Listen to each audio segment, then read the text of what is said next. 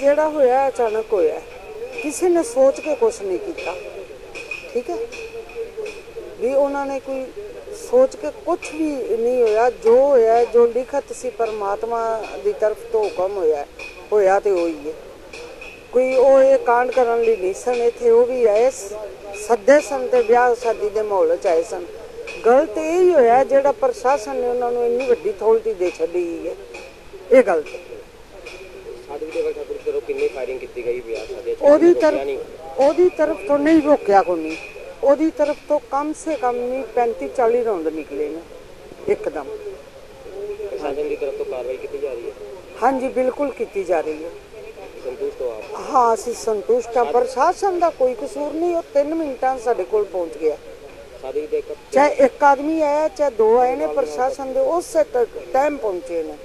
ਦੇਵਲ ਠਾਕੁਰ ਨੂੰ ਕਿੰਨੇ ਵਿਆਹ ਸੀ ਕਿ ਮੁੰਡੇ ਵਾਲੀ ਤਰਫ ਤੋਂ ਆਈ ਸੀ ਨਹੀਂ ਨਾ ਮੁੰਡੇ ਵਾਲੇ ਦੀ ਤਰਫ ਤੋਂ ਨਹੀਂ ਆਏ ਨਾ ਕੁੜੀ ਵਾਲੇ ਦੀ ਤਰਫ ਤੋਂ ਆਏ ਨੇ ਜਿਸ ਤਰ੍ਹਾਂ ਅਸੀਂ ਭੈਣ ਭਰਾਵਾਂ ਨੂੰ ਪਾਟ ਨਹੀਂ ਦਿੰਦੇ ਲੈ ਵੀ ਤੇਰਾ ਵੀ ਕੋਈ ਮਿਲਣ ਵਾਲਾ ਤੂੰ ਉਹਨੂੰ ਬੁਲਾ ਲੈ ਇਸ ਤਰ੍ਹਾਂ ਉਹ ਵੀ ਪਬਲਿਕ ਚ ਆ ਗਈ ਹੈ ਜਦੋਂ ਪਬਲਿਕ ਚ ਆਉਂਦੀ ਸੀ ਤੇ ਆ ਗਈ ਹੈ आप सब लोगों ने को पता ही होगा न्यूज़ चल रही है काफ़ी दिन से बताने की ज़रूरत नहीं है क्योंकि एक परिवार की लेडीज़ की डेथ हो गई है जो हमारी रिश्तेदार थी रिलेटिव थी और इसकी वो सिस्टर थी और बच्चे हैं उसके छोटे छोटे हम यही चाहते हैं प्रशासन से भी यही रिक्वेस्ट है कि उनके खिलाफ सख्त से सख्त कार्रवाई की जाए। और ऐसे कोई देवी ठाकुर जो होते हैं जहाँ ये समाज के जो साधु हैं उनको कहाँ से अधिकार दिया गया है कि आप लोग इतने हथियार लेस रहो?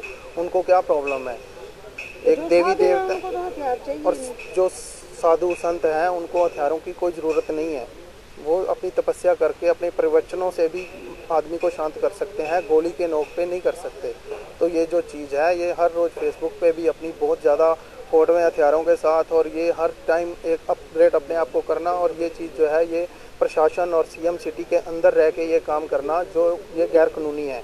यहाँ एक आश्रम है, इनका एक ब्रास गाँव है, वहाँ पर देवा इंडियन, इंडिया फाउंडेशन के नाम से इनका एक आश्रम है। वहीं पर ये और इनके जो सहयोगी सदस्य है ये रहते हैं। अ, कुछ इनके परिवार के सदस्य हैं ये और कुछ आस पड़ोस के हैं जो आश्रम में रहते हैं। तो किसी भी तरीके की धार्मिक एक्टिविटी किसी आश्रम में चल रही है वो अच्छी बात है। पर उस की आड़ में या इस तरीके के इंसिडेंट की हथियारों को इस तरीके से दिखाना या गैरकानूनी कार्य करना ये बिल्कुल ही गैरकानूनी है।